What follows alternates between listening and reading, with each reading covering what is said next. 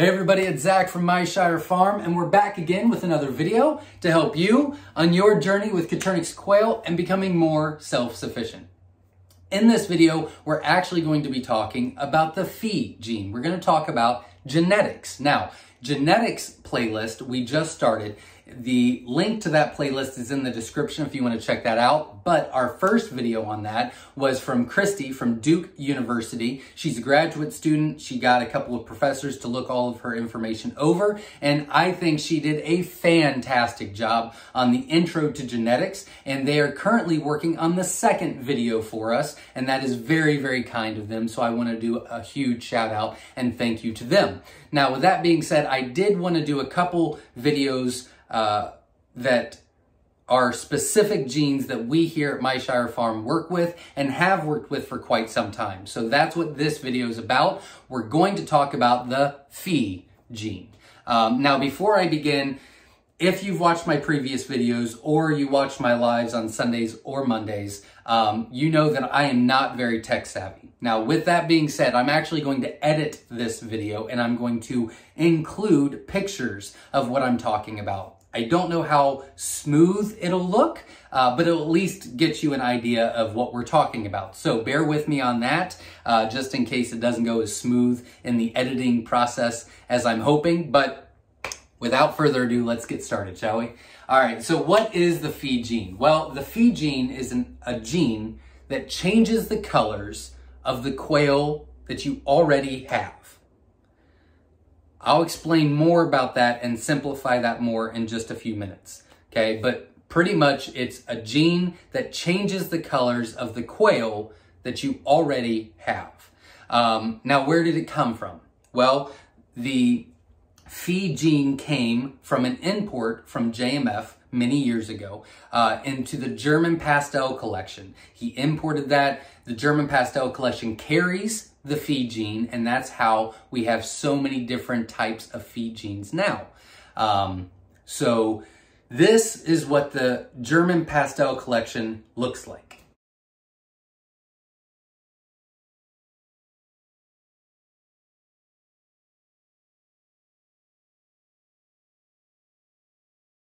Okay, so um, you saw that there's many different varieties of colors in the German pastel collection. It is a collection. Um, so I prefer, me personally, the German pastel collection and the Schofield silver collection to continue to be collections. I do not like to take them out and individualize them. Um, I don't think that's healthy long term for the quail. Um, and I like the variety of colors that you can get from them. Uh, so with that being said, you there's a Fee gene in every single one of those. You can pull that out and you can put it with something else and it changes the coloration of that quail.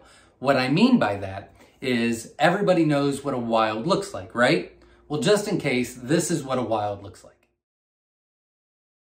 All right, now, if we would introduce the Fee gene to that, we would get a Fab Fee. That's what this looks like.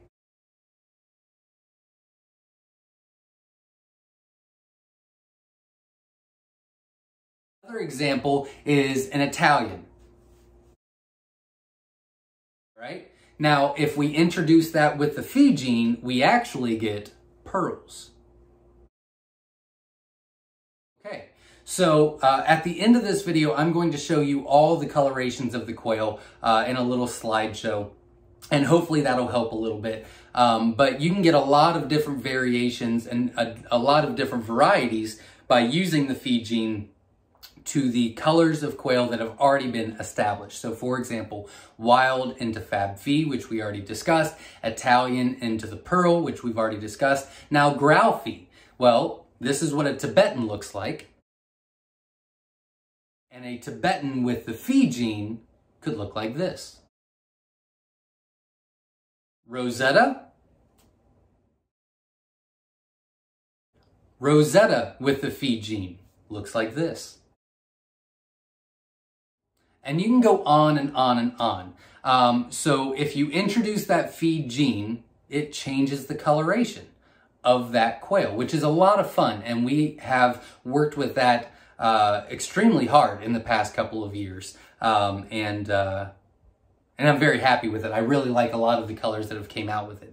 Uh, in fact, two new colors that we'll be introducing shortly have the fee gene in it, and they are amazing. So I'm very excited about that. Um, now, I'm going to give you one more example, and then I'm going to show you how to introduce the fee gene to it, and then uh, we'll do a little slideshow. And if you have any questions, you're more than welcome to comment below, and I will do my very best to help you out. But remember, every Sunday and Monday, we do a live Q&A right here on our YouTube channel, and we'd be happy to help you there as well. So, um, the Egyptian. I really, really like the Egyptian. The Egyptian is the roux de lutte of the wild. Now, I know that I'm getting ahead of myself, but the next video we do is going to be about the roux gene, which personally is my favorite gene to work with. Uh, and I'll explain that in that video. But this is what an Egyptian looks like. Well, we introduced that Egyptian to the fee, and this is what we came up with, the Egyptian Fee. Now, I'm sure it's been done before, but this was the first time that we actually tried to do it, is so, like I said, the wild with the roux gene, which is pretty much the red gene, creates Egyptian. So the Egyptian is a wild with roux, right? All right. Now, we've talked about the fee gene, but we've never actually introduced them together, and we didn't know how that was going to go. So I'm very, very excited about the Egyptian fee. Uh, all of these are available on our website, just so you know. But uh, the Egyptian fee is is really doing extremely well, and so we've worked with the fee and roux combination uh, as of lately, and we're getting amazing results. So I'm very excited about that as well. Now. The last thing I wanted to say before we do that is how do you introduce the fee gene? Well, you can pretty much do it however you want. Uh, if you've watched my previous videos, you know that I'm a big believer that there are many different ways to get to the same destination, right? There's many different ways to raise Coturnix quail. So what we did at the very beginning was we put German pastels with certain colors, and that's how we were transferring uh, the fee gene. Well, now all of you have great opportunity to just start with the fee gene in general. Um, so, you know, you can buy the pearls or you can buy this or you can buy that.